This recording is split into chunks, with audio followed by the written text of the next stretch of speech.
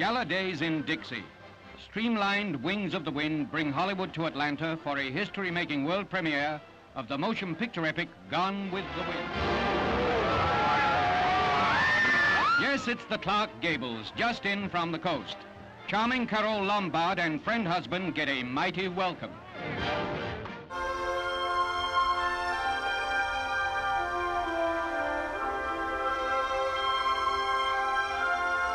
The story behind the Clark Gable um, visiting the Pioneer Saloon dates back to 1942. Unfortunately, his wife, Carole Lombard, was on a uh, airplane selling war bonds for the Army, flying from Las, uh, Las Vegas to Burbank, California. And unfortunately, they crashed and died on Mount Potosi, which is the mountain that sits behind the saloon.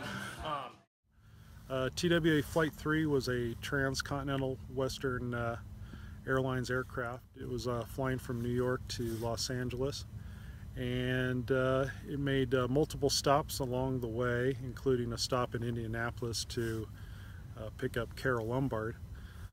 As the flight progressed west it uh, eventually ended up in the evening at Las Vegas for re refueling and at 7.07 p.m. it departed Las Vegas continued in a uh, southwesterly heading uh, flying from Las Vegas. It uh, started leveling off at about 8,000 feet and impacted uh, Mount Potosi uh, off to our left here at, uh, at an elevation of 7,700 feet.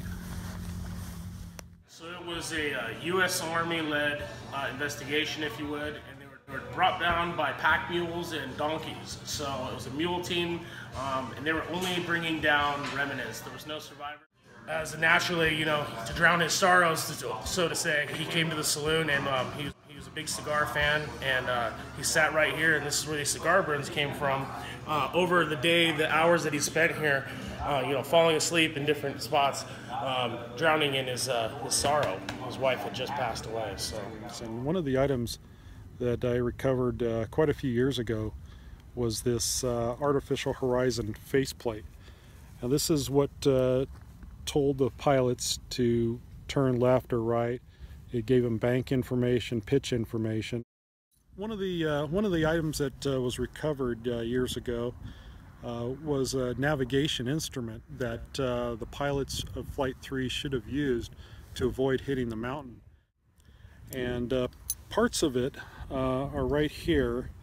This is the, uh, the Sperry Mark IV radio compass and what's left of it.